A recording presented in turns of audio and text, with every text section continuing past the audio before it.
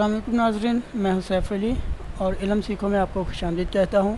सुहेल अफजल की बुक है accounting class BCom part one और उसका चैप्टर है अकाउंटिंग फ्रॉम इनकम्प्लीट रिकॉर्ड्स और आज हम प्रॉब्लम नंबर टू सॉल्व करेंगे। The following balances appear in A's books which are kept on the single entry basis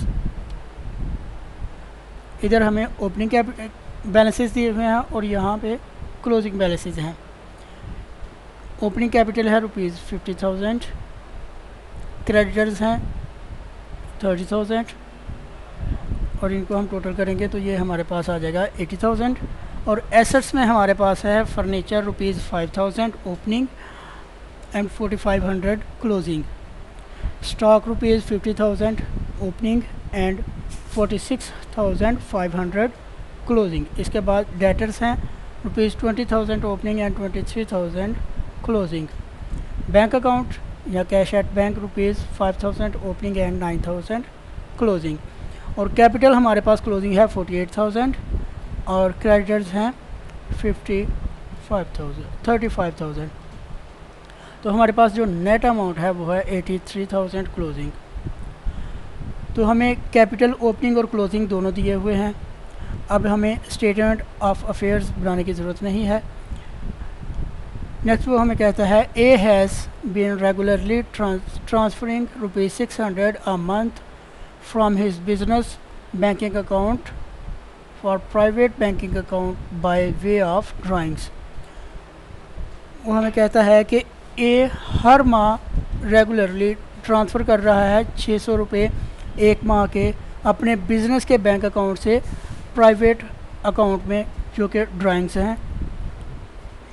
He has taken stock worth rupees fifteen hundred for his private use stock में से उसने पंद्रह सौ रुपये की चीज़ें निकाली हैं अपने ज़ाती इस्तेमाल के लिए। Depreciation on furniture has been provided at the rate of ten percent और जो फर्नीचर के ऊपर डेप्रिसिएशन है, वो है टेन परसेंट वो हमसे रिक्वायर कर रहा है you are required to calculate A's profit for 2017 और प्रॉफिट होगा रुपये सिक्स थाउज़ेंड सेवन हंड्रेड तो हमने ऊपर लिखना है statement of profit and loss for the year ended thirty first December two thousand and seventeen तो सबसे पहले हम इधर लिखेंगे closing capital as on thirty first December two thousand and seventeen rupees forty eight thousand इसमें हम add करेंगे drawings और ड्राइंग्स हैं per month six hundred rupees तो हम लिखेंगे drawings six hundred into twelve तो हमारे पास पूरे साल की ड्राइंग्स आ जाएँगी।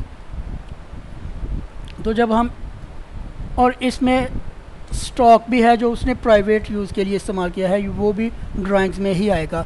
तो सेवेंटी टू हंड्रेड ड्राइंग्स है कैश की और फिफ्टीन हंड्रेड स्टॉक की। तो इन दोनों को सम अप करेंगे तो हमारे पास आ जाएगा एट थाउज़ेंड सेवन हंड्रेड अब इन दोनों को हम ऐड करेंगे तो हमारे पास आएगा adjusted capital as on thirty first December 2017 rupees fifty six thousand and seven hundred इससे हम लेस करेंगे ओपनिंग कैपिटल।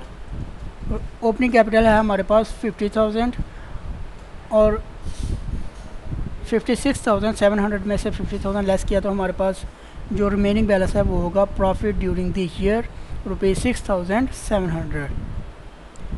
और यही हमारा आंसर है।